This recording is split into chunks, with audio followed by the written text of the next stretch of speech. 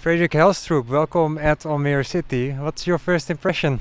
No, it's really good. It's really good. It's been really nice welcoming so far. I'm really excited to be here. So of course it's been really good.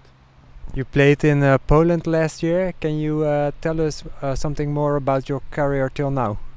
Yeah, recently I played three years in, in Poland and I had a, a good time there. Before I played in, in Sweden, in Helsingborg, and before that I played in, in some clubs in Denmark. So you bring a lot of experience with you. Yeah, yeah, I played uh, a lot of games so far. I'm still quite young, but I I tried some some things, and I think that I will bring a lot of experience and some some good energy. Can you uh, describe what kind of player you are?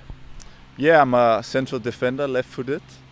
Uh, I like to play football, but I also really like to win. So if it takes something out of this, then it's not worth it. But yeah, I'm I'm a defender and I like to, to defend, but most of all, I like to win.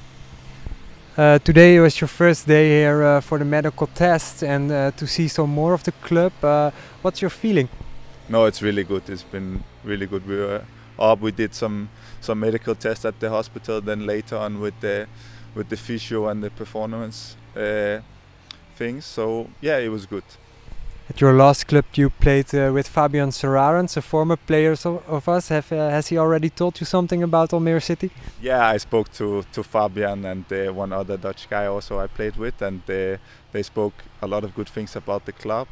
So yeah, they they recommended me to go here, and uh, I'm sure I will be happy here.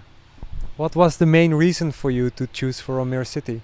I think it's a very ambitious ambitious club here, as you can see the the steps uh, the club has taken just in the last uh, yeah 10 years as you described to me as well. So for sure it's a very ambitious club and it just want to to go forward. What's your uh, goal for next season? When will you be satisfied? Of course I, I want to to compete for the for the championship. Of course it's gonna be it's gonna be difficult. I don't know the league yet but I'm I'm ambitious as well and I sure know that the club also is, is very ambitious. So I think it will be be good together. I wish you good luck. Thank you. Thank you so much.